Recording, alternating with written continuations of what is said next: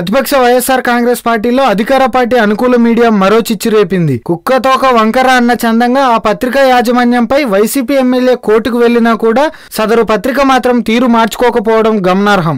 ఇటీవల ఏకంగా వైఎస్ జగన్మోహన్ రెడ్డి సతీమణి వైఎస్ భారతిపైనే పలు అసత్య కథనాలను ప్రచురించిన విషయం తెలిసిందే. తాజాగా పార్టీలోని పలు పదవులను భర్తీ చేస్తూ వైసీపీ అధిష్టానం ఆదేశాలు జారీ చేసింది. మరోవైపు అరకు నియోజకవర్గంలో మాజీ ఎమ్మెల్యే రవిబాబు వైసీపీలోకి రీ ఎంట్రీకి సిద్ధమయ్యారు. ఈ క్రమంలో పార్టీ అధిష్టానం అధికారిక ప్రకటన చేయకపోయినప్పటికీ రీ ఎంట్రీకి సిద్ధమైన రవిబాబుకే అరకు సీటు కేటాయిస్తారనే వార్తలు తెరపైకి వచ్చాయి.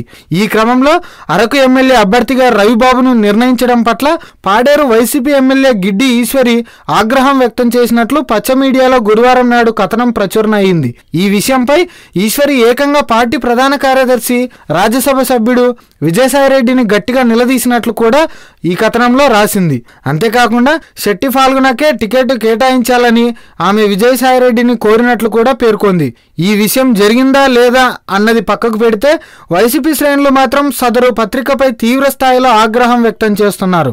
పార్టీకి సంబంధించిన అంతర్గత విషయాలపై ఇలా తలదూర్చడం సరికాదని హెచ్చరిస్తున్నారు. ఈ వీడియో మీకు నచ్చినట్లయితే లైక్ చేయండి షేర్ చేయండి. మరిన్ని అప్డేట్స్ కోసం మా జనహితం టీవీని సబ్స్క్రైబ్ చేయడం మాత్రం మర్చిపోకండి.